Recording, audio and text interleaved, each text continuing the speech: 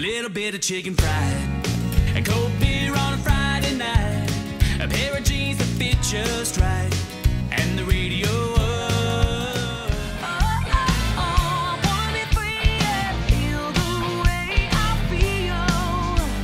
feel. Man, I feel like a woman.